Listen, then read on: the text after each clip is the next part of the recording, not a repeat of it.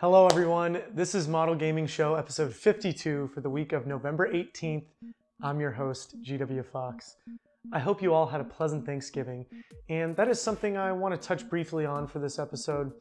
There are too many things to list that I'm thankful for, but I definitely wouldn't be where I am today or who I am today without video games. I've been playing them since I was five years old on the NES, and they've always been a big part of my life. And truly, I hope that I'll be able to play them well into old age. Continuing on, I want to highlight what I felt were the very best Black Friday deals, and that are actually worth it. Coincidentally, they're all for PS4. The first was the Spider-Man PS4 bundle for $200. It's basically an impulse buy at that price point, and Target had them available last Sunday, which is when I bought it. Sony really wants to move PS4s this holiday season, and I wouldn't be surprised to see that same deal return for Christmas. To go along with that, I got PlayStation Plus for 40 bucks on the PlayStation Store, which is ama amazing, and I immediately downloaded Yakuza Kiwami, which goes for 20 bucks.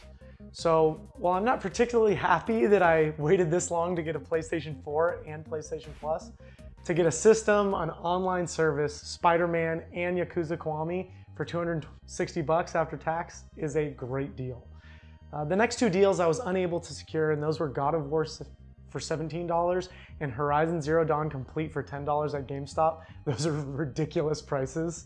And God of War was going for $25 elsewhere, which I caved in and bought. Uh, the last great deal is for the PlayStation DualShock, DualShock controller in various colors going for 39 bucks. Um, my friend owns an independent game shop and he told me he pays $51 for cost for those controllers. So to be $12 under that is a tremendous deal.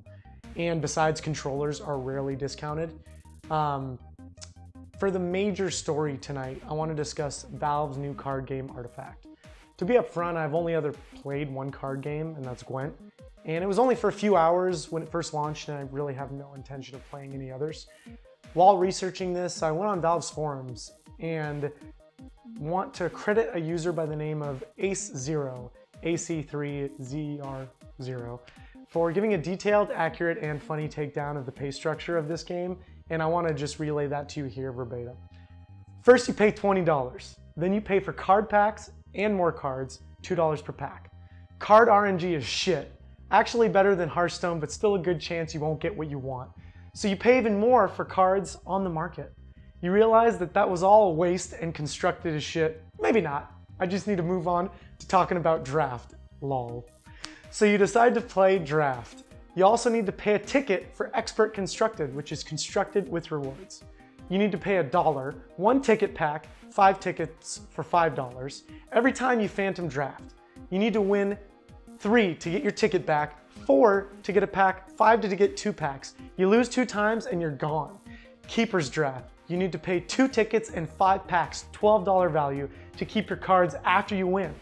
You sell your kidneys, you pay your taxes, you realize the futility of life.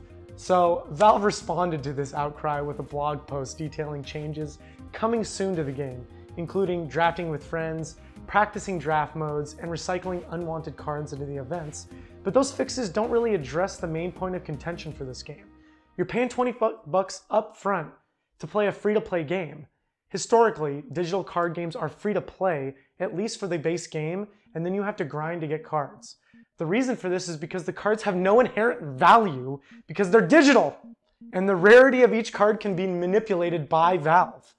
In this instance, you're paying 20 bucks for a free to play model to get a couple of starter decks and some packs and then grind for cards. And then you have to pay to get more packs and cards.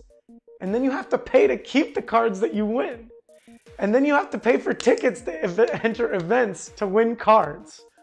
Sounds pretty ridiculous, right? So I understand that Valve wants to make money off of a game that they put out. But this whole system just seems very, very greedy. I honestly believe most people would be absolutely fine paying the $20 upfront for the game. I certainly would, would be. But to charge for almost every other thing feels like some serious microtransaction nickel and diming BS. I hope Valve actively listens to the feedback on this, and I'm really curious to see what pricing structure looks like when the game actually releases because it's just in beta. So I'll keep you posted on any major announcements going forward. And I think it's really an interesting story concerning one of the largest video game companies in the industry. Um, the major new release for this week is Battlefield 5, which currently has a 79 on OpenCritic. Uh, frankly, that's a bit disappointing. And from what I've read, it seems like an incomplete product. This game was already delayed once, and I wonder if it would have been smart to delay it even more, especially out of this busy holiday season. Um, that is going to do it for tonight, everyone. Thank you so much for watching, and make sure to catch me every Sunday night at 7 p.m. Pacific Standard Time for this show, and Monday through Thursday at 7 p.m. Pacific Standard Time for my streams on twitch.tv slash model gaming show. I'd greatly appreciate the follow, and also catch me on Instagram and Twitter at GWFAWKES, That's GW Fawkes. Thank you so much, and I hope you all truly had a happy Thanksgiving.